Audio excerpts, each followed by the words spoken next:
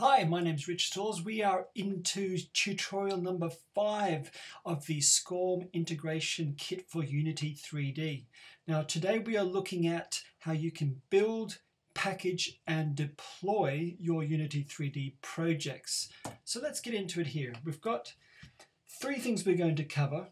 We're going to look at building your WebGL project using the SCORM template. Then once you've built it, we will look at packaging it up using the um, SCORM integration kit to be ready, um, a SCORM ready package, a zip file, that then we can show you how to deploy that into an LMS and in this case we're going to use Blackboard Learn Ultra. Don't forget this is a part of a tutorial series and um, have a look at the other tutorials you may have missed. They give you some of the basics, explores the SCORM data model and how to, to integrate your own project using the kit. All right, so let's jump into the live demo here. This is basically just the SCORM integration kit into an empty project and it does come with its own um, test app so you can test out some things um, in a learning management system ready to go and also gives you some example code on how you might use it. so some of the things you want to make sure if you haven't done so already is to open up the build settings. You've got to make sure it's a WebGL project, but let's also open up the player settings because we want by default it's set at the default template but you want to swap that to the SCORM template because that allows that publishes or builds your WebGL project with the required SCORM JavaScript files. So we'll have a look at that in a, a minute. There's, there's a few other things you might want to play with depending on the uh, resolution and size of your Unity 3D project. But that's, that's the two absolute requirements, uh, the it has to be a WebGL project. It has to have the SCORM template. So we'll just leave it as, as the default there. Now another thing here is I'm not going to select the development build for this one here, but in order to get more of the troubleshooting error messages that might crop up in your project, you do want to have that one there. Um, but we'll keep that down.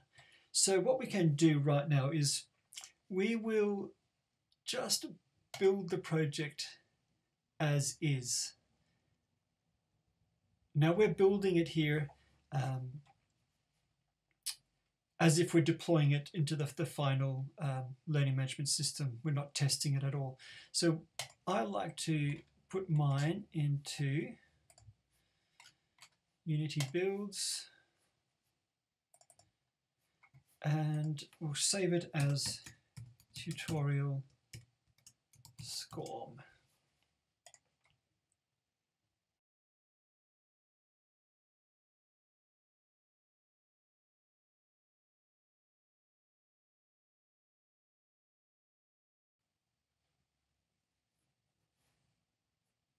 Okay, so here you can see the build has been successful. So let's just go look at the file system here in my Unity builds. You can see that it's got the the whole build there, but in the template data, because we've used the SCORM template, we do have the SCORM JavaScript file. That's the part that our um, the SCORM API wrapper communicates with to communicate out to the learning management system. Now I do want to show you one thing here. I am going to open up the SCORM simulator JavaScript file. Now this does get loaded in and it can be taken out when you deploy it. Um, but this one here allows you to test the functionality of your code as if there was getting some data out, out from a learning management system. So what you can do is you can uncomment this line save it, and then when you run your WebGL build, um, remember that most of the browsers now won't allow you to run it from the file system. You'd have to pop it into a um, into a a web server, um, MAMP, XAMPP, um, or you can do the build and run option from, from your uh, Unity 3D editor. But if you do that, it will supply a whole bunch of um, information as if it was reading from the learning management system. So at least you can check some of the LMS functionality without actually having to load it up into um, a learning management system. But we, we won't do any more there right now. So let's look back here. So we've got we've got a um, a web app ready to go, but this is not a SCORM compliant package. If you look at a SCORM compliant package, there's a whole bunch of metadata, um, XML files, and uh, a whole bunch of stuff there that is required for a whole bunch of stuff that is required for for um, the learning management system to recognize it. So that's where this other menu option here comes in, which is export SCORM package. So we should uh, select that. And this one says export this scene as a web player first. Now, um, web, it's WebGL nowadays, uh, basically because um, when this was first built, you, you needed um, Pro uh, version of Unity 3D to get an, an automatic build happening, but we've built it, that's good.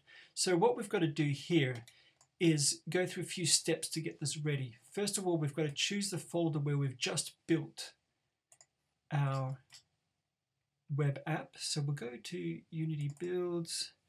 I called it Tutorial SCORM. I'll choose that one there.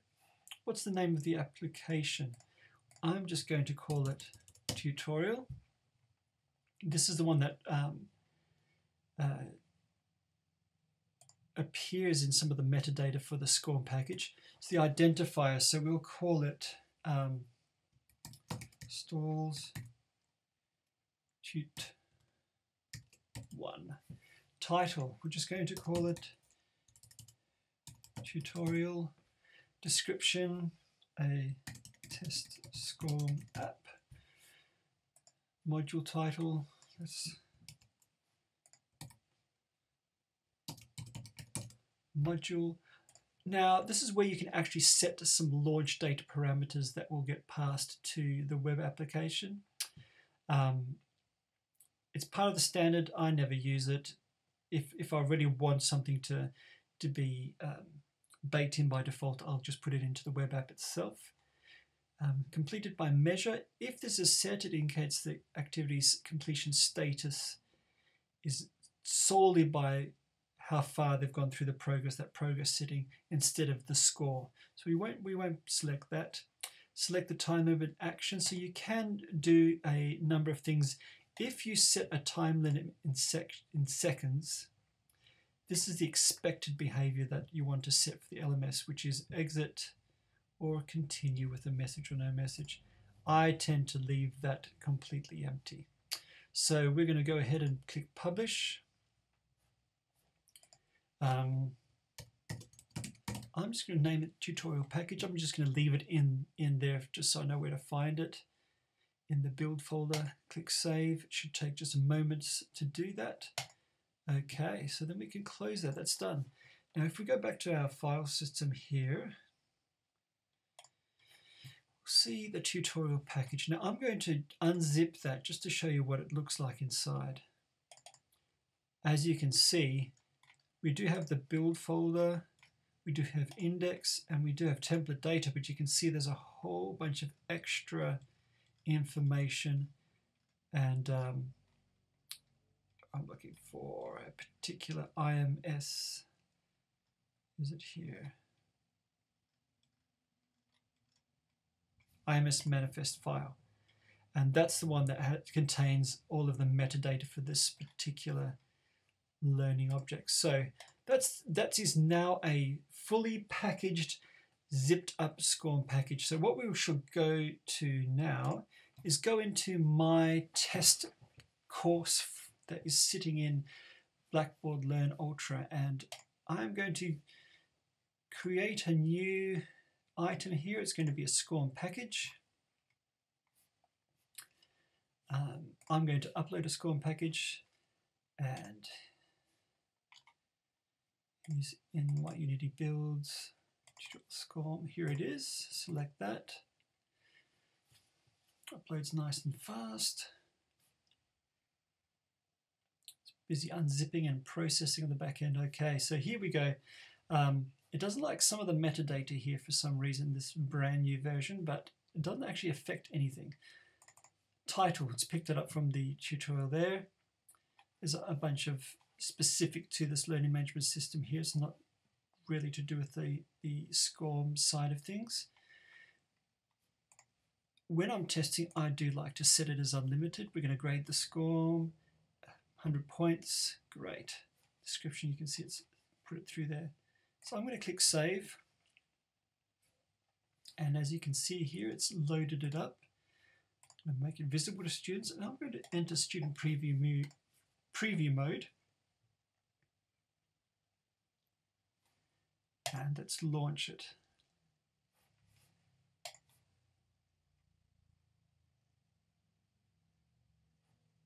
Okay, this is where you do want to muck around with resolutions and sizes and things like that there. Okay, so here you can see I've left a couple of um, errors so to see that the logging area is working. Um, it's picked up my name, which is the preview user. it's, got some SCORM data from the LMS, which means that it's started it for, for credit. It's a normal entry. The mode is normal. This means I'm just taking it as a normal user. So what I might do is just store a couple of things in. For instance, the learner interaction. We've, we've seen this in an earlier um, tutorial, but this one we may have question one. Or let's just Q1 Dogs are better than cats. Weighting one. Student response is obviously true. So we'll add that interaction. And let's go set a score. So minimum score, maximum score, they got 95% and they completed it. Okay, remember how I was saying that we have to, as we're going through, we are adding um, setting values to the LMS, but nothing actually gets finalized until we do a, a, um, a commit statement. And so I'm going to commit that here. And when it sends, sends that terminate um, called, the LMS shuts down the window.